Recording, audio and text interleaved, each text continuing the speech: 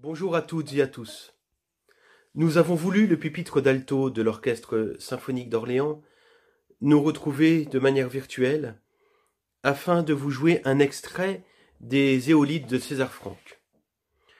Dans ce passage, euh, vous nous entendrez diviser en deux parties, l'une mélodique, puis l'autre accompagnatrice.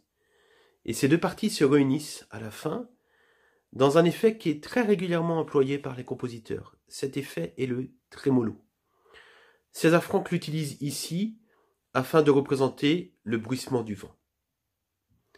Bonne écoute à vous et au plaisir de tous vous revoir. À bientôt. Au revoir.